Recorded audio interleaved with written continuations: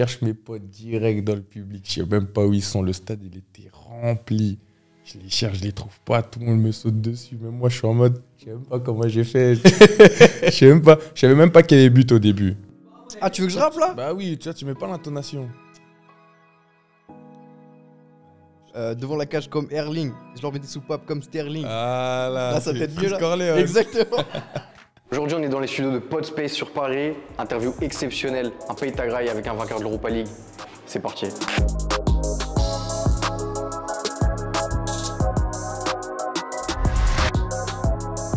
Loïc, merci à toi d'être venu avec nous aujourd'hui. Bon, pour ceux qui ne le savent pas, Loïc, euh, c'est un champion. Europa League, tout récemment. Mais avant ça, il y a eu du travail, il y a eu beaucoup de boulot. Ta jeunesse, tu l'as faite à Antony. Tu as commencé le foot là-bas. Après, tu es parti à la CBB. Bon, pour ceux qui connaissent pas, c'est un peu le Graal pour euh, le département du 92. Après, il y a eu le PFC, puis le Havre. Déjà, qu'est-ce qui a fait que tu es parti au Havre? Et comment ça s'est passé? Parce que par rapport au quartier, à la famille, quitter un peu son foyer si jeune, qu'est-ce que ça t'a fait de partir au Havre? Quand, on est jeune et puis qu'on veut devenir euh, footballeur professionnel, on a tous euh, cette envie de, signer en centre de formation. C'est vraiment pour. Quand on est jeune, c'est vraiment un objectif pour tout le monde. Et puis moi, j'ai eu, moi, ça a tardé. Ça a vraiment tardé puisque je signe au Havre en, en U19. Et euh, quand, quand, bah, quand j'y vais, quand j'ai une proposition de contrat, c'est comme le, début d'un rêve. En gros, on se dit que c'est vraiment la, première étape d'accompli dans, dans le chemin du, du futur euh, professionnel, on va dire. Après, ce n'est pas, pas une fin en soi, mais c'est vraiment quelque chose qui. C'est un premier objectif la d'atteindre en première grosse étape. Ouais, c'est ça. En parlant de ta formation, toi, en tant que joueur d'Île-de-France, comment ça se fait qu'il y ait autant de bêtes de joueurs en Île-de-France? Comment ça se fait? Je pense que c'est la, la, la culture sur, sur Paris. On a vraiment cette, cette culture foot. Il y a des cities partout, des terrains partout.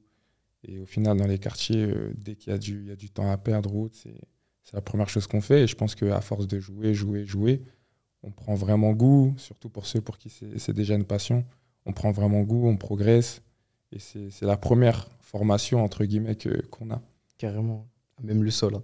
Ouais, directement. La, la passion du foot, au final, toi, elle te vient d'où? C'est quoi un peu les, les endroits dans lesquels tu as kiffé jouer ou là où tu t'es senti le plus euh, C'est bah, c'est dans mon quartier. Dans mon quartier, moi, quand j'étais petit, j'étais tout le temps dehors. Tout le temps, tout le temps dehors. En fait, j'habitais, euh, j'avais un, un stade euh, juste en face de chez moi. Je pouvais pas voir il y avait qui dans le stade, mais j'entendais. Dès que j'entendais un bruit taper le ballon, fou, maman, je sors. Je sortais directement. J'allais jouer, je pouvais rester toute la journée. Je sonnais chez mes potes à, à 9h. Leurs parents, ils me disaient, ouais, Loïc, il est trop tôt et tout. Je disais, ouais, Bien mais on va jouer, on est en bas et tout. Non, tout le temps, tout le temps, tout le temps, jouer au foot, tout le temps. C'est ça un peu qu'a forgé ton. Au final, peut-être même ta, ton hygiène de vie. Du coup, tu es, habitué à te lever tôt pour, euh, pour aller jouer, en fait. Ouais, ouais, du coup, j'avais j'avais déjà mes, mes entraînements du matin. Et après le Havre, tu passes euh, au RC Lens avec euh, un super coach, Franck Hez. Comment s'est passée cette première année euh, dans le monde professionnel? Cette première année, c'est franchement peut-être l'une de mes. Non, plus maintenant. Ça fait partie de, sur mes trois saisons professionnelles de, des meilleures, en tout cas. Celle où j'ai pris vraiment le plus de plaisir. Parce que déjà, j'arrive j'arrive à Lens en, Ligue 1. Donc, vraiment, je me dis, la, la barre, elle est haute. Puisque je viens du Havre, Ligue 2. J'avais pas fait beaucoup de matchs. Donc, c'est vraiment une. euh, J'avais une certaine pression en moi. Et j'avais, je m'étais donné des objectifs personnels, bien sûr, à atteindre mais c'était vraiment pas ceux que j'ai pu atteindre euh, au final. Je voulais, moi, si je jouais peut-être 10, 15 matchs, c'était- parfait. Au final, j'ai fini par faire toute la saison. Donc, une année très positive, que ce soit sur le terrain, même en dehors du terrain. Des rencontres à, à Lens, tout, tout le groupe est top. Le coach, le staff, les supporters, la ville, franchement, c'est Ça respire le foot. ouais, c'est un, club de- c'est un club de fou. Et franchement, c'est une année euh, à tous les niveaux, que du plaisir. Et pour toi, ça a été quoi le, le déclic qui a fait que de base, tu t'attendais pas à jouer autant et au final, tu étais, titulaire indiscutable Qu'est-ce qui a fait que tu as pu bousculer la hiérarchie comme ça?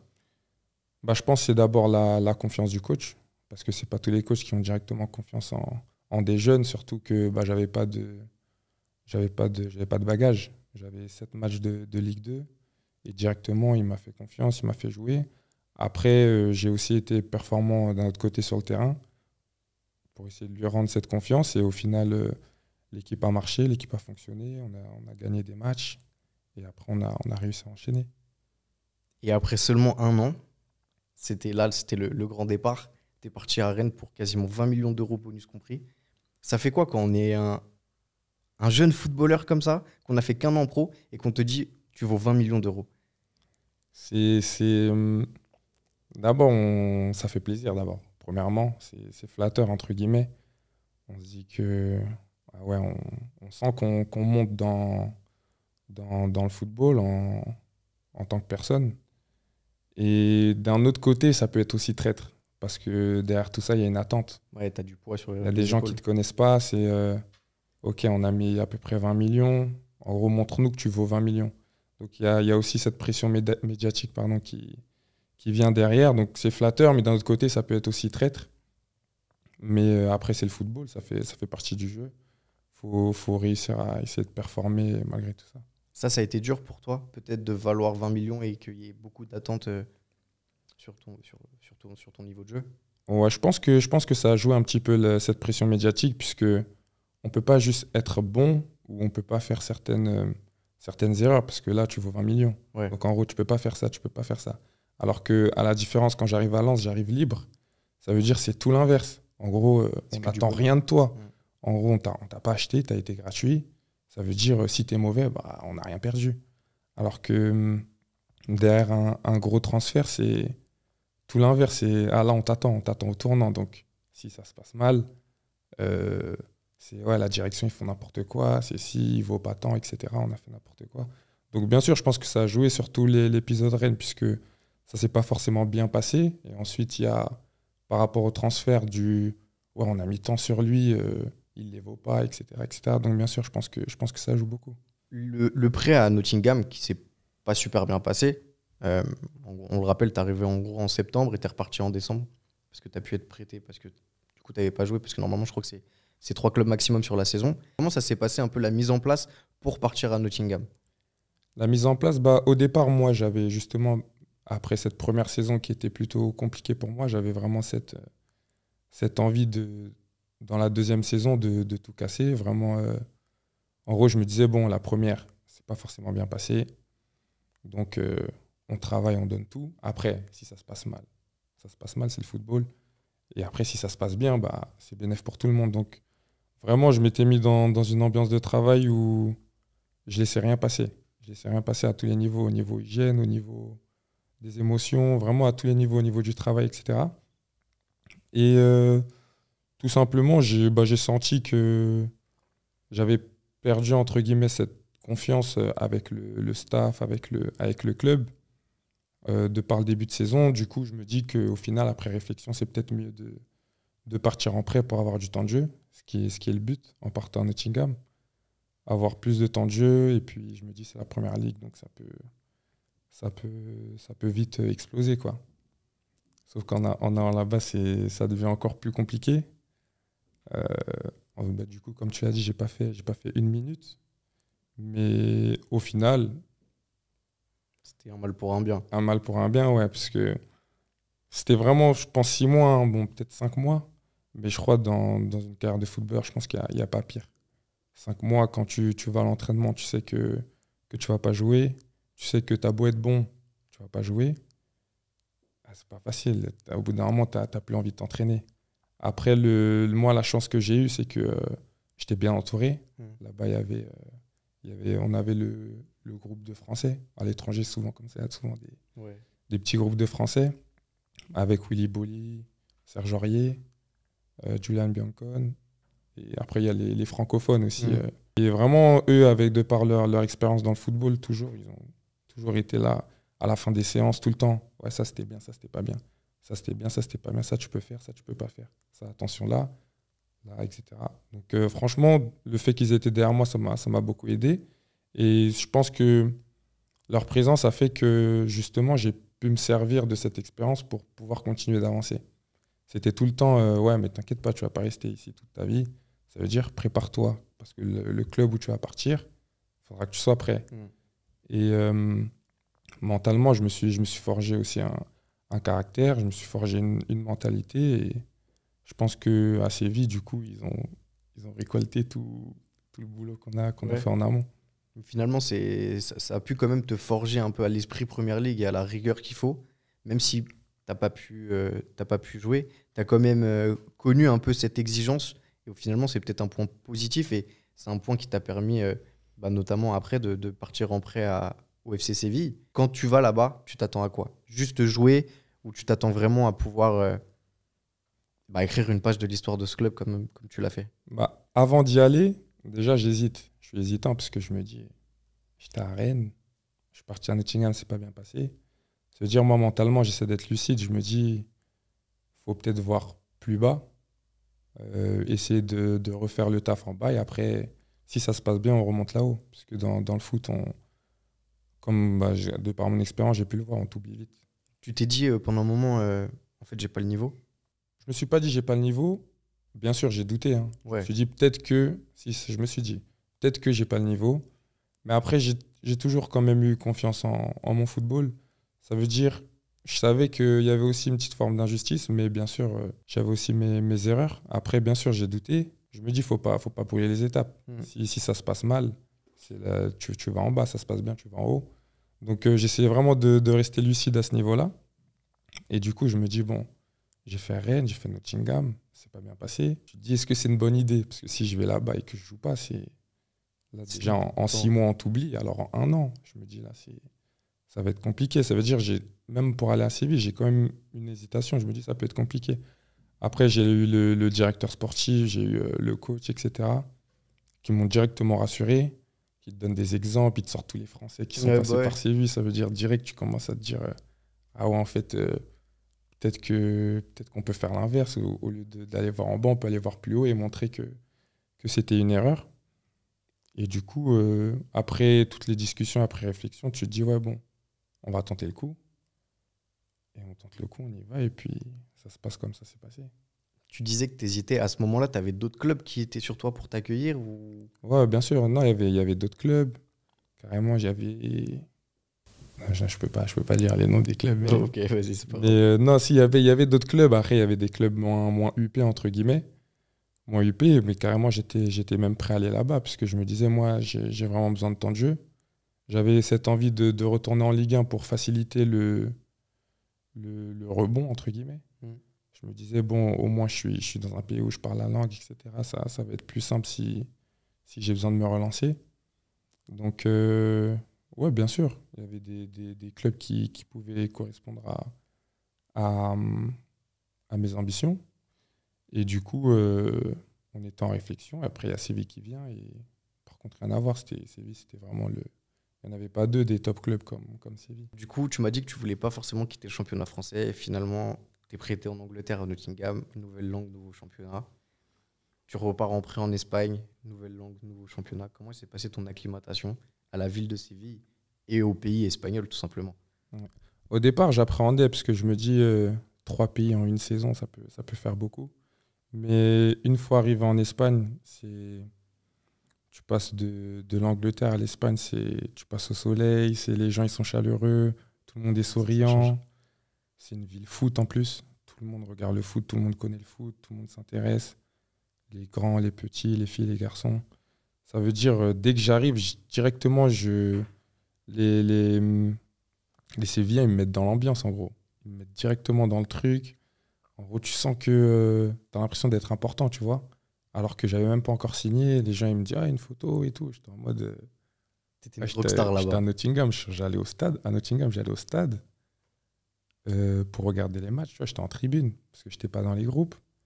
Les, les gens du stade, ils me disaient, ouais. euh, En gros, ils me reconnaissaient même pas. Ils me disaient, ouais, euh, ta place et tout, elle est où ta place et tout Je dis, non, j'ai pas de place, je suis un joueur. Ils me disaient, c'est vrai, t'appelles comme moi et tout. J'étais choqué. Et t'arrives assez vite, j'ai même pas encore signé. Les gens me demandent déjà des que ça comparait ton, ton profil sur euh, ouais. Transfermarkt Mais direct. Et du coup, euh, ça fait ils me mettre dans le bain.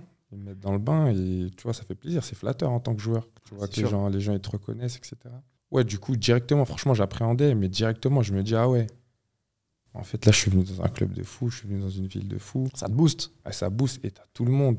Séville, Séville. Tu sais, moi, je regarde pas, pas vraiment beaucoup le foot et tout, tu vois.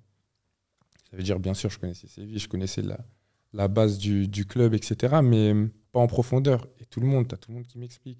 Ouais, tu sais pas, t'es où là, Sylvie, ils sont comme ci, ils sont comme ça. Tout le monde me raconte un petit peu son, son expérience, tu vois. Ça veut dire, euh, directement, j'appréhendais, mais je suis rassuré euh, dans l'instant T, tu vois. Loïc, attends, je te coupe deux petites secondes, il y a le Burritz qui va arriver. On va enfin pouvoir euh, manger. Bon, bah bon appétit. Quand tu signes à Séville, finalement, est-ce que tu as des garanties sur ton temps de jeu? Est-ce qu'on te dit le poste qu'on attend de toi? Et comment ça se passe? Sachant que je crois que peu de temps avant que enfin, après que tu sois arrivé, tu t'es blessé. À ce moment, à ce chapitre de ton aventure à Séville, qu'est-ce que tu te dis? Bah Déjà, premièrement, j'ai zéro garantie. Zéro garantie. Euh, en gros, je pense que c'est rare du moins qu'un coach t'appelle et dise Ouais, tu vas jouer et tout. Hmm. J'ai eu la confiance du coach dans le sens où il me dit que tu es dans la concurrence. En gros, bah, si tu es le meilleur, tu vas jouer. Si l'autre est meilleur, bah, tu vas pas jouer. Après, euh, le petit avantage entre guillemets que j'avais, c'est que quand j'arrive, il y, a, beaucoup de blessés. Il y a beaucoup de blessés euh, en défense centrale. Ça fait, tu te dis, euh, il y a plus de chances que, que ça tourne, etc. En tout cas, que tu ta chance, du moins. Mm. Et moi, quand j'arrive là-bas, c'est tout ce que je voulais. C'était vraiment avoir ma chance. Je suis pas bon. Au moins, si je joue pas, je sais pourquoi je joue pas. Ouais, voilà. Et si je suis bon, bah, après, vouloir enchaîner, etc. Au mérite. C'est ça. Du coup, par rapport à, à ta blessure, elle, t'arrête un peu dans, dans une pente euh, ascendante. Tu te dis quoi à ce moment-là? Je suis énervé un peu. Ouais. je suis énervé. En fait, tu vois, quand je joue, à chaque fois, je me dis, faut que je rattrape le temps perdu. Faut que je rattrape le temps perdu. Faut que je rattrape le temps perdu. Et là, paf, je me blesse. Je me dis, ah. Peut-être c'est parce que tu t'es mis une pression un peu mentale tout seul et ça t'a pas aidé. Peut-être. Après, moi, personnellement, je pense que c'est plus le fait de vraiment pas avoir joué pendant longtemps. Mm. Et d'un coup, paf, tu reprends un, gros rythme puisqu'on enchaîne avec euh, la Copa del Rey, le championnat et puis euh, l'Europa League. Ça veut dire que c'est beaucoup de matchs d'un coup dans les jambes. Et au final, j'étais n'étais pas prêt physiquement, peut-être, à, encaisser autant de matchs. Ça me casse dans ma lancée. Je fais l'IRM, il me dit 5-6 semaines. J'ai gris. Mais non. T'es place d'eau. Je me dis non, on va voir un peu moins et tout. Ça fait, au final, ça avance, ça avance. Au final, je crois j'ai mis 3 semaines, 2 semaines et demie, 3 semaines. T'as pas eu peur de reprendre trop tôt? Moi, j'écoute le médecin à chaque fois. Hmm. En plus, moi, je suis grave. Euh, chaque fois, je me dis, ouais, mais non, là, c'est trop tôt, ça va répéter. Tu vois, je me, plusieurs fois, je me suis blessé, je me suis refait mal dessus. Ça fait, moi, je suis grave pessimiste. Chaque fois, je me dis, non, non, ça va, je sens pas bien, ça va répéter. Mais tu vois, dès que le doc du club, il dit, euh, non, t'inquiète, ça va le faire. Là, ça me rassure. Ouais, t'as confiance en lui. Il me disait, ça va le faire, ça va le faire. Et puis, au final, à chaque fois, ça le faisait. Au final, victoire en finale de l'Europa League, ça fait quoi? En vrai, quand le coup de sifflet, il et il est sifflé et ça y est, tu sais que tu as gagné, tu te dis quoi? Tu te dis, tu te dis euh, on l'a fait. Parce que tu vois, moi personnellement, sur le, dans une compétition, c'est la première fois que je vais aussi loin. Déjà, tu joues Manchester United en quart de finale. Je te cache pas d'un compte ta tête comment c'est compliqué en championnat. D'un compte de nos têtes, on se disait. Moi, moi quand j'ai vu Manchester United, je me suis dit, bon, ça va être plaisir, mais ça va s'arrêter là. En plus, le, scénario, il est, incroyable. Si je me rappelle bien, je crois United, ils mènent, 2-0, vous marquez deux buts sur deux, deux contre son mm. camp. au final, c'est là-bas, vous les tapez, je crois. Non, c'est chez eux, on fait 2-2, et chez nous, on les tape. C'est incroyable. Ah, c'est un truc de fou. Parce qu'en plus, le... quand on va là-bas, d'entrée, but, hors jeu, on se dit, déjà et tout. L'action d'après, t'as but, 1-0. Tu te dis, ah ouais. Ta, ta, ta, ta, ta, 2-0. Ils mettent les 2-0 rapidement, tu vois. Moi, j'étais sur le banc ce match-là. Je, me dis, je t'ai dit, heureusement, je suis sur le banc. Non, même pas. Mais, je, me suis dit, mais là, là, c'est, là, c'est, tu, les vois jouer, ça va trop vite. Tu te dis, mais c'est bon, s'il y a 2-0 en, peu de temps, sachant qu'il y a le but hors jeu, ça fait ça les booste un peu mentalement. Mm. Tu te dis, ouais, euh, si ça monte à 4-5, faut pas être choqué, tu vois. Et puis après, deuxième mi-temps, on est, on est un peu plus dedans, tu vois il y a des changements qui sont faits, etc. Ça fait, tu rajoutes encore du, boost dans, dans l'équipe. 2-1, but contre son camp. 2-2, but contre son camp. Il devait être comme des ouf, en vrai, les on se dit, Là, on se dit, ah ouais, là, on est béni. Là. Et le pire, c'est qu'à la fin du match, eux, je me souviens, ils ont, ils ont fait tous leurs changements. Ils ont un joueur qui se blesse. Je crois que c'est Lisandro Martinez, non? Martinez, en Argentin. Mm. Il se blesse. Ça veut dire on égalise 2-2 et on est à 11 contre 10 sur le terrain tu dis, il y a moyen de mettre le 3-2. On là, quand même. Mais bien sûr, on se dit, il y a moyen de faire un braquage là. Après, bon, ça finit à 2-2 tranquille. À l'extérieur, tu te dis, c'est compliqué, mais si- après, tu, tu te dis, mais attends, on a fait 2-2 chez eux. Chez nous, on a toutes nos cartes. Bah, vous aviez fait le plus dur en vrai.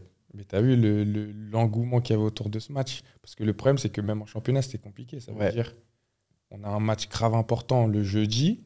Non, je dis n'importe quoi, c'était jeudi. Samedi, on a un match grave important contre Valence. Mm. C'est concurrent direct au niveau du classement. Si on perd, on se met dans un trou. Ouais. Ça veut dire euh, le coach il refait des changements pour Valence. Match de fou chez eux. On gagne. C'est là que je mets mon premier but. Oui, c'est vrai. Je me rappelle. Premier but, mais même là, tu te dis, niveau, en termes de pression, etc., tu te dis, ah ouais, là, on pouvait vraiment. Donc Manchester, Valence, on peut pas se louper. Ça fait quoi quand tu marques? Moi, en plus, c'est mon premier but. Mm. T'as vu, avec Pape, à chaque fois, on dit, à chaque fois avec Pape Gay, on se dit, il faut qu'on marque et tout. Et on marque pas, on marque pas et tout. Non, non, on marque pas, on est des flocons et tout. Il dit, si on marque, faut qu'on fasse une célébration et tout. Comme par hasard, Pape, il est pas là. Hmm. Je crois qu'il était suspendu contre Valence.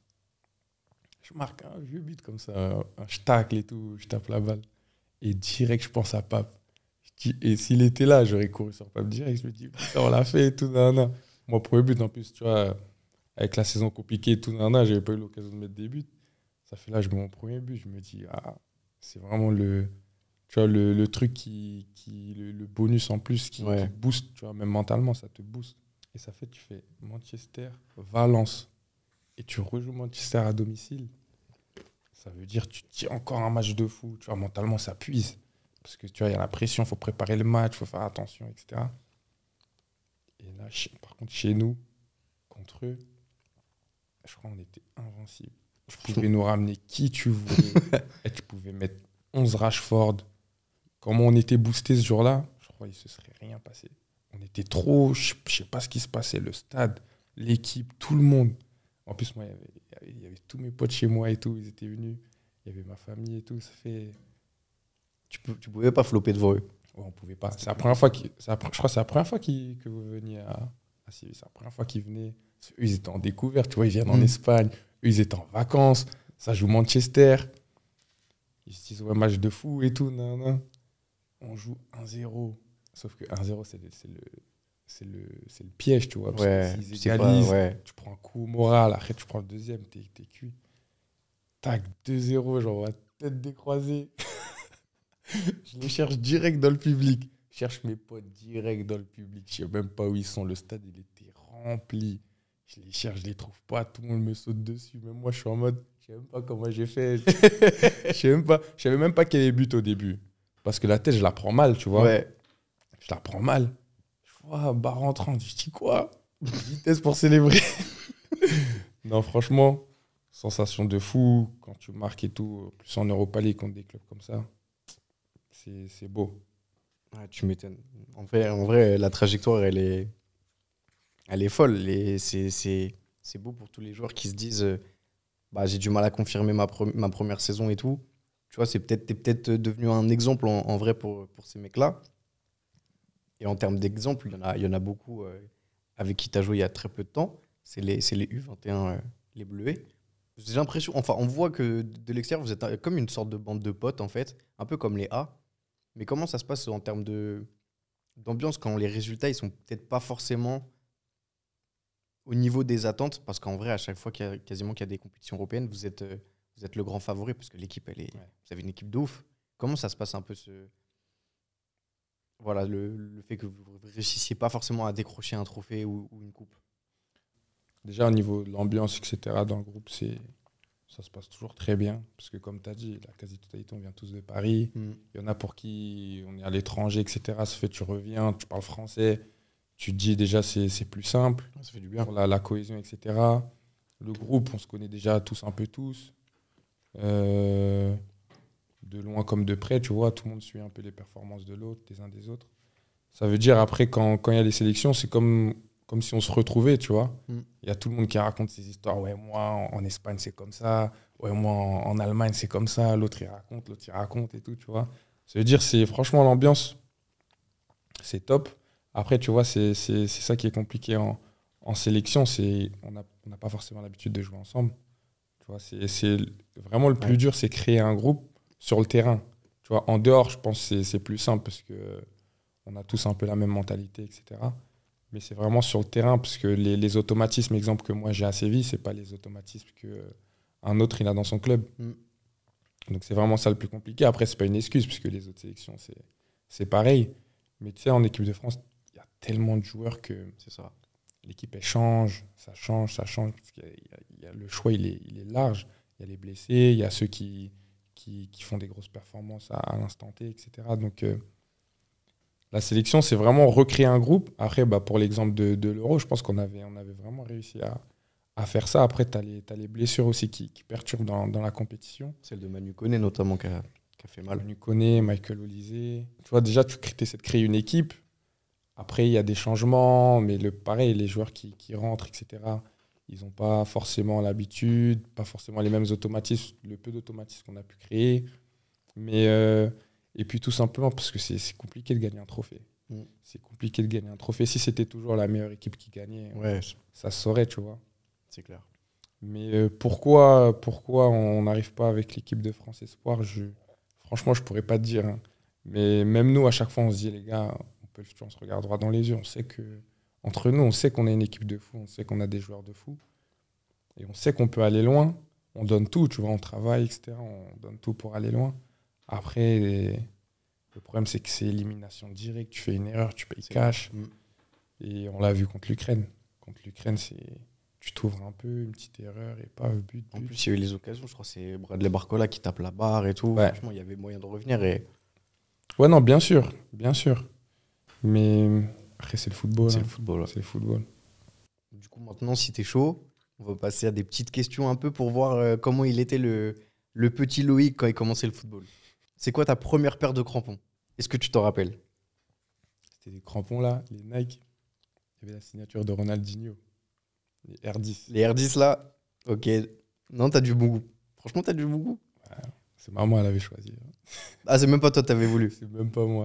Moi, je me rappelle quand je jouais, il y avait, ils avaient des, des, des paires un peu flinguées là. Franchement, euh, dès qu'on pouvait, ça taillait. Donc là, non, bien. Les lotos, ouais, c'était méchant. L'auto kappa et tout, c'était méchant de ouf. Quand t'avais ça, c'était c'était pas ouf. Ton poste de base, quand t'as commencé le foot, ou celui que tu préférais quand t'as commencé le foot? Quand j'ai commencé le foot, j'ai commencé un peu attaquant 10. Attaquant 10. Après, moi, j'aimais bien aller partout. Ok. Aller partout. Ça veut dire attaquant 10, je suis passé milieu de terrain. Et ouais, je pense milieu de terrain. Milieu, t'étais 6 plus Même pas 10 8, Ok. relayeur. C'était qui ton modèle quand t'étais petit? Quand j'étais petit, j'ai jamais eu de modèle, mais je regardais tout le temps les vidéos à Cristiano. Cristiano, Neymar, tout ça, tout le temps. T'étais fan de dribble. hein? Ouais. Peut-être ça t'a aidé parce que tu voyais les dribbles et tu disais, ah, faut que je défende comme ci, comme ça. Ouais, non, non, franchement, je kiffais regarder des vidéos skills et tout, tout le temps. Tu vois, t'es, quand t'es petit, tu vas pas mettre euh, vidéos skills euh, Sergio Ramos. Ah, Tu pas mettre des trucs comme ça. Tu peux pas regarder des tacles glissés, il faut regarder des petits Ouais, oui. virgules. Bah oui. Non, non, non, regardez le spectacle. Tu supportais quel club? Je supportais quel club? Franchement, même ça, j'ai jamais supporté, supporté de club. hein. Je, regarde, je regardais pas le foot, moi. J'étais tout le temps dehors. Ouais, Toi, tu pratiquais, tu voulais pas regarder. Voilà, voilà. J'ai capté. Le moment clé où tu t'es dit, eh, ça y est là, là je suis en train d'y arriver, je vais devenir footballeur professionnel. Jamais. Je me suis jamais dit ça. Tout le temps, moi, je, sais, je suis pessimiste. Tout le Ouais, temps, je- bah tout, ouais. le temps, je- tout le temps, je me disais, peut-être ça va pas passer. Toute mon enfance, je cherchais un, un deuxième taf au cas où. Qu'est-ce que je peux faire si, si foot, ça, ça marche pas et tout? J'ai jamais trouvé. Ça aurait été quoi comme taf? Même là, je peux te dire, je peux même pas te dire. J'ai jamais trouvé. Une anecdote marrante de toi jeune, je sais pas, euh, en allant au match, à l'entraînement, un truc un peu. Je sais que t'as une idée là, ça se voit que t'as une idée. Ah, J'en ai trop des anecdotes, mais je sais pas si on peut dire en interview. Ah, J'en ai trop. Parce que nous, on faisait n'importe quoi. Quand, quand on partait au foot, avec, euh, tu vois, avec les copains, quand on était jeunes, moi, on faisait n'importe quoi. On sonnait chez les gens, on mettait des coups de pied dans les portes, on courait. On faisait- Pourquoi vous dites ça Il y en a trop des anecdotes, je crois. on était fous pour l'adrénaline. Nous, on cherchait l'adrénaline. Ok, peut-être ça vous boostait avant les matchs. Ouais, ça nous boostait, je crois. Quand t'étais plus jeune, là je parle peut-être plus euh, quand même euh, à quelques années, tu vois, de, de ta signature en pro. Est-ce que t'as déjà joué contre des, des joueurs qui sont pros actuellement? Est-ce que vous vous étiez déjà rencontrés quand vous étiez petit? Ouais, bien sûr. Comme qui? Surtout, surtout sur, euh, sur Paris. Bah, je te donne un exemple en, en sélection avec l'équipe de, de France Espoir. Kefren, j'avais déjà joué. Kefren Turam, j'avais déjà joué contre lui quand il était à Neuilly. Tu vois, lui, il était surclassé. En vrai, il y en a trop. J'ai même pas de nom qui me vient en tête tellement. Il y en avait un qui t'avait particulièrement impressionné, même toi quand tu étais jeune? En jeune, Mm. qui m'a qui m'a impressionné. Les, les plus choquants là. Et Akram. Après, il est pas pro. Mais je crois qu'il il a impressionné tout l'île de France. Je crois tout le monde le connaît. Et comment ça se fait, il est pas passé? Qu'est-ce que tu penses, c'est quoi qui lui a manqué? Qui lui a manqué, je sais pas. Après, tu sais, dans le foot, faut aussi. Ouais, Il y, a- il y a le facteur chance qui compte aussi, tu vois. qui est extrêmement important. sur- dans le bon club, avec le bon coach, au bon moment, faire les bons matchs devant les bonnes personnes. Mm. Tous ceux de l'île de France qui, qui vont entendre Akram, ils le connaissent, tout le monde le connaît. Il a martyrisé trop de monde. Il a martyrisé trop de monde. Ouais, non, non, non. Akram. Ok. Vas-y, Akram, si tu regardes la vidéo, euh, bravo pour, euh, pour tes exploits. Tu es originaire de Côte d'Ivoire. Quel est ton, ton, ton rapport avec, euh, avec le pays? Est-ce que ça t'a aidé, tu penses, euh, dans ta, dans ta vie d'homme et de joueur? Oui, bien sûr, parce que moi, il faut savoir que je suis, moi, je suis métis, je suis ivoirien français. Euh, mon père qui est français, ma mère ivoirienne. Et moi, mon père il est décédé. Ça veut dire que j'ai grandi avec ma mère. Et tous mes frères, c'est mes demi-frères. Ok. Et eux, ils sont ivoiriens 100%. Ça veut dire, moi, j'étais le seul métis de ma famille. C'est toute la famille, euh, tous des Renois et tout, tu vois. Et c'est vraiment cette éducation à l'ivoirienne, parce que ma mère, elle est, elle est née là-bas, elle a grandi là-bas, elle est arrivée en France euh, il y a un peu avant ma naissance, tu vois. Ça veut dire, euh, c'est une éducation de, que elle, elle a reçue, donc une éducation un peu à l'ivoirienne, mes tantes, etc. C'est vraiment euh, toute ma famille, tu vois. Je connais pas le, la famille du côté de mon père, ça veut dire c'est toute la famille que j'ai, c'est tous côté ivoirien. Donc c'est vraiment, j'ai grandi à l'ivoirienne, entre guillemets. On a fouillé un peu ton Insta, les stories à la une. Tu poses et tout avec tes saps, tout ça. tu kiffes la sap en vrai. Ouais, j'aime bien. Tu penses quoi un peu des, tu vois, des, des marques qui sont arrivées un peu dans le monde du foot et des petits partenariats qu'il y a eu? Il y a eu notamment euh, Off-White avec l'AC Milan, tu as eu New Balance avec Stone Island et tout. Qu'est-ce que tu en penses de. de Balenciaga de ton- avec Red. T'en penses quoi de, de ces ambiances-là? Et toi, si tu devais être sponsor par une marque de luxe, ce serait laquelle? Bon, moi, je trouve que c'est bien, tu vois. C'est deux, deux univers différents qui, qui collaborent, entre, entre guillemets. Et c'est bon pour tout le monde, c'est bon pour les joueurs, parce que nous, on aime bien, tu vois, quand on dit, ouais, le pactage, c'est telle marque et tout. Mm. Tu dis, ah ouais, non, c'est bien, c'est propre. Et pour les marques, pareil, ça leur, fait, ça leur fait de la pub, donc tout le monde est content au final. Et moi, si je devais choisir une marque, si je devais choisir une marque, en plus, moi, je suis pas sponsor, ça fait, il y a moyen de gratter un petit truc. Ah bah, J'espère pour toi. non, moi, si je devais, si je devais choisir une marque, euh, peut-être Louis Vuitton. Louis Vuitton, c'est ta cam. Vuitton, ouais. Ouais, Ok. c'est pareil. Les jours de match, c'est quoi ta routine? Ou si tu as un petit rituel, euh, je sais pas, une musique, un truc, c'est quoi? Comment ça se passe le jour de match? Jour de match, Ouais. jour de match, déjà, je coupe tout. Je parle avec personne. Euh, tu vois, j'essaie d'être dans ma bulle, tranquille. Au, au début, on rigole, etc. Par contre, dès que le, le match il, il se rapproche, c'est euh, à la collation pâte, Ok. pâte poulet. Après, euh, je remonte dans ma chambre, douche froide, Ok. petite prière. Après, je mets le casque. Quand je mets le casque là, Terminé. j'ai ma playlist Game Day. Que des sons énervés, comme ça je commence à, à switcher, tu vois. Et après, je parle plus. Jusqu'au match, tu vois, j'essaie vraiment d'être d'être concentré. J'essaie de me booster un peu, tu vois. Et ton temps libre, t'en fais quoi?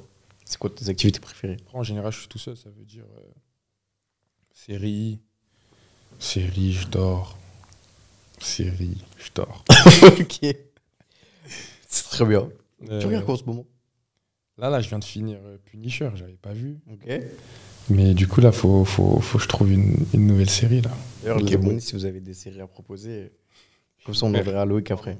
Est-ce qu'il y a un coach, un joueur, un stade mémorable pour toi? Genre, il est l'ambiance, ça t'a impressionné, un joueur, euh, que ce soit adversaire ou coéquipier, hein, Ouais. qui t'a impressionné et un, un- un entraîneur que, que tu aimerais un jour avoir euh, à tes côtés? Mais un coach, je t'aurais dit Francaise, partie 2. Ok. Les retrouvailles.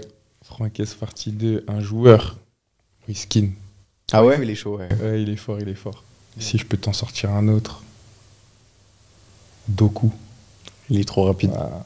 Les deux, là. Whiskin, Doku. Ok. Ouais. Et un stade En stade. Ouais, soit qui t'a impressionné, soit que t'aimerais découvrir un jour. T'aimerais bien jouer là-bas. En stade. C'est quoi ça du Real déjà? C'est quoi? Bernabeu, ouais. T'as demandé le nom du stade J'avais oublié, j'avais oublié. ok, ok, dire ouais. la Maison Blanche.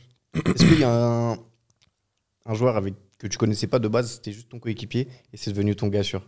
Si oui, Ouais, il beaucoup. y en a beaucoup. Ok, bon. On skip. Maboura, Kamaldine Suleiman. Non, après, en vrai. Bourra, c'est euh, le défenseur gauche de Lens là Ouais, ouais, ouais. Pas celui qui avait une vidéo de ouf. Si, et- si, si. Et t'as eu lui, à Lens, c'est ma découverte. Ah ouais, Ouais, je- c'est un bête de gars. Guigus et Cactus, il nous appelait comme ça. Et la vidéo qu'il avait fait, euh, C'est lui? vous en avez déjà parlé ou pas? Bah oui. Partout où il va, surtout quand, quand on joue contre Paris, contre des clubs parisiens. on veut récompenser euh, notre père parce que c'est c'est lui. Ouais, c'est pas facile. Oui, parce que euh, on avait laissé. Sinon, ben, c'est pas facile. Maintenant, Ouais, ces choses c'est vraiment compliqué. C'est vraiment compliqué. Il y a des hauts, il y a des bas. On était parti en Coupe de France au Red Star. Mais lui, il aime bien ça. Il aime bien, lui, quand, quand il buzz un peu, là. Red Star. Les gens, ils crient Ouais, c'est pas, c'est pas c'est lui, là. C'est pas c'est lui. Les gens l'appellent c'est lui. Tellement la vidéo, elle a buzzé. Euh, Ton système de jeu préféré et pourquoi? Parce qu'on a vu à Séville notamment, tu jouais des fois avec. euh, vous étiez que deux axios, des fois vous êtes trois. Ouais. C'est quoi que tu préfères? Ouais, surtout avec Sampoli, ça changeait beaucoup. Mm. Moi, ce que je préfère, c'est le 3-5-2, hein, je te dirais. Ah ouais? Et quand je suis dans l'axe. Parce que déjà, je- sur les, surtout sur les ressorties de balles et tout, tu vois, il y a toujours un- une petite tactique à mettre en place, etc. Ça veut dire ça, franchement, j'aime bien. Et euh, c'est le poste où je suis le plus à l'aise, je trouve. euh, Parce que je peux, je peux voir tout le jeu, je peux aller à droite, je peux aller à gauche. En gros, je ne suis, pas- je suis pas limité dans mes, dans mes mouvements. Je peux même monter parfois, puisqu'on est à 3, etc. Euh, Bon, même si j'ai une petite idée, ton meilleur souvenir de ta carrière pour le moment? Ouais, finale. Finale euh, à Budapest. Avec la famille, etc. Non, quoique. Si, si, c'est la finale. Mais contre Manchester aussi à domicile, c'était quelque chose. C'était deux- tes deux gros souvenirs à l'heure actuelle. Ouais. Parce que l'ambiance à Manchester aussi, c'était un truc de fou. Avec le but et les amis et tout.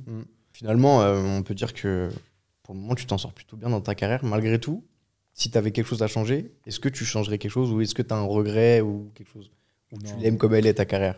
Non, je l'aime comme elle est. Je l'aime comme elle est. Je prends mes choix, je les assume. Et je trouve que j'apprends beaucoup de, de mes erreurs en tout cas. Et je pense que ça va me servir pour la suite. Donc, euh, La suite d'ailleurs, c'est quoi? C'est quoi ton objectif maintenant? Objectif confirmé à Séville déjà. Mhm. Après, essayer de, de gagner la Ligue des Champions. C'est la Ligue des Champions, c'est le, le rêve ultime? Ouais, ouais, ouais. Ok, On bah, sera allé au bout là. ah, j'espère que ça va arriver. Ça va arriver pour toi. En plus, là, vous êtes qualifié du coup Ouais. en Champions League. Va falloir cravacher, mais Ouais, j'espère que ça va le faire. Bon, tu m'as dit t'écoutais un peu de rap français? Il y a pas mal de fois où le foot, les rappeurs, euh, les, les joueurs, etc. Ils sont cités dans des sons. Donc là, on a pris quelques petites punchlines foot. Donc je vais te les lire. Et tu vas me dire si tu sais qui c'est qui. Enfin, tu- si tu devines le, le rappeur. Ok, t'es prêt? Devant la cage comme Erling. Et je leur mets des soupapes comme Sterling. Mais Taï, t'as vu quand tu fais, faut que tu mettes l'intonation. Ah, tu veux que je rappe là? Bah oui, tu vois, tu mets pas l'intonation. Euh, Devant la cage comme Erling. Je leur mets des soupapes comme Sterling. Ah là, Là, ça peut être mieux, là. Exactement. Numéro Ocho comme Sandro Tonali. STM. Ok. Numéro 10 sur le rinté d'Ibala. Numéro 10 sur le rinté. C'est Maës, ça, non Bah ouais, exact. Bon, maintenant, on va, on va poser des questions sur les espoirs. Parce que tu m'as dit que c'était une bande de potes et tout. C'est qui qui s'habille le moins bien? Ah ouais. Ah, va falloir tailler les gars là, c'est parti. Ah ouais, ça, c'est pas bien, ça. C'est qui qui s'habille le moins bien en espoir Après, t'as vu, c'est pas pour se trouver des excuses. hein. Moi, en espoir, on est tout le temps habillé en équipe de France. Ok, bon, vas-y, c'est bon. Je vois, tu veux, bien je vois, ce tu veux pas te mouiller. Je vois, tu veux pas te mouiller, c'est pas grave. Ah ouais, je vous m'envoyez des messages, je vais dire, ouais, là, il était chelou. Euh, qui c'est qui met le plus l'ambiance? Manu connaît. C'est qui qui a le hobby le plus bizarre? C'est sûr, il y a un mec qui fait des trucs chelous. Le hobby le plus bizarre. Ah, il y a Cherki. Cherki kiffe le cinéma. Tout, il connaît tous les films. Il sort plein de films à chaque fois et tout. Qui écoute les pires musiques? C'est pas faux, ça. Déjà quitté. Il écoute quoi? Bah, faut des, je sais pas, tout le temps, il met les sons de son quartier, des sons comme ça. là. Maintenant, on va juste passer aux, aux questions des abonnés. Tu vois, on a mis un petit tweet en mode un peu incognito. Genre, ouais, les gars, si vous rencontriez un joueur euh, de foot professionnel, vous demanderiez, vous demanderiez quoi? Alors là, c'est une question de Yoka Misol. Pour qui tu ne joueras jamais? Pour Nantes. Non. Pour Lille. Lille. Jamais. Attention, hein. Attention, hein. Attention, hein. Question de Pedro V3. Comment on fait pour manager ses efforts physiques et mentaux? Et mentaux, du coup. Bah, après, en soi, tu, tu te prépares, tu vois. Toute la semaine, à chaque fois, tu te prépares à ce niveau-là. Ça veut dire physiquement, Au top. c'était au top. Et puis mentalement, c'est. Tu apprends à gérer sur, euh, sur le tas. hein. À force de jouer, tu vois, depuis petit, tu joues. Ça veut dire que tout le monde a ses habitudes, tout le monde se gère euh, un peu à sa manière. Tu vois. Comme je t'ai dit, moi, j'aime bien être euh, dans ma bulle, concentré. Tu vois, je parle pas beaucoup, alors Ouais. qu'il y en a à l'inverse. Tu vois, dans le vestiaire, cinq minutes avant le match, ils rigolent avec tout le monde, ils mettent la musique et tout. C'est leur façon un peu d'extérioriser. Ouais. Question de Adib69 Latrick. Comment la composition est annoncée aux joueurs? Nous, à Séville, au dernier moment. Même moi, même ça, ça m'a choqué carrément. En gros, y a, tu vois, des fois, il y a des clubs, euh, peut-être même un jour avant, tu sais, Mm. ou tu vois, veille de match, le coach il met l'équipe en place un peu. À Séville, il laisse aucun indice. C'est euh, surprise. c'est même pas à l'hôtel. Tu vois, normalement, c'est à l'hôtel, il donne la compo. Lui, c'est, on est au vestiaire. Juste avant le match. On est au vestiaire, on s'assoit quand on arrive au vestiaire. Avant de, d'aller sur le terrain pour voir un peu le terrain et tout, c'est là qu'il donne la compo. À chaque fois, mes potes, ils me demandent Ouais, c'est comment tu joues? Je sais pas. Wesh, le match, il est dans une heure et demie. Je sais pas. Je sais pas, j'attends. Au final, t'es au, t'es au courant peut-être 30 minutes avant les, les supporters. Tu trouves ça mieux finalement? Ouais, il y en a qui vont préférer, il y en a qui vont, qui vont pas préférer. Moi, personnellement, ça me dérange pas. Ouais. Après, il y en a qui ont besoin de préparer leur match. Mais là, au moins, ça te force à, À à rester garder focus. tout le monde concerné, tu vois. Ouais, Tu, joues pas, au moins, tu restes, euh, tu restes droit, tu vois. Dernière question de Zeyman Off. Comment on gère les critiques et le stress avant chaque grand match? Avant les matchs, en général, euh, les critiques, elles sont pas trop. Tu vois, en général, il y a un favori, il y en a qui n'est pas favori, il se fait. Mais euh, le stress, parfois, c'est c'est fatigant. Après, moi, je te donne mon exemple. Moi, j'en ai besoin. Tu vois, si j'ai pas le stress, ça veut dire que je vais être trop à l'aise. Ça veut dire. euh, à chaque fois que je suis pas stressé, je me dis non, il y a un truc qui cloche. Ça fait, euh, carrément, je regardais le skills de l'attaquant adverse. Je me dis, ah, il est chaud, il est chaud. Après, le stress, il monte. T'as fait ça avec qui dernièrement? Avec plein de gens, des fois, quand, quand c'est, tu vois, des fois, c'est des équipes, tu te dis, ouais, ils sont en bas, un peu en bas de tableau. Tu te dis, vas-y, on va gagner et tout. Mais justement, quand tu te dis ça, c'est là, euh, tu te fais choquer, tu vois. Ouais, fait, tu regardes les vidéos de l'attaquant, et elles sont toujours bien. bah oui. Parce qu'il met des trucs bien. Ah, skills YouTube, Elles sont normalement. toujours euh, bien. Et après, tu dis, putain, imagine, il me fait ça et tout. Non, non, non. Après, le stress, il monte. Et c'est toi, tu finis dans la highlight. Je te jure. Non, ça veut dire, moi, le stress, euh, j'en ai besoin. Comment je le gère? Bon, Au final, tu le gères pas, il est là, tu vois. Mm. Il est là, mais ça reste un bon stress. Ça reste un bon stress, donc euh, tu le gères comme, comme il vient. Ok. Bon, bah on arrive sur la fin de l'interview. Qu'est-ce qu'on peut te souhaiter pour, euh, pour la suite? Qu'est-ce qu'on peut me souhaiter pour la suite? Que du bon? Que du bon. Bah écoute, Loïc, c'était un plaisir de partager ça avec toi et j'espère que tout va bien se passer cette année et dans les années futures. Merci beaucoup, c'était un plaisir euh, également.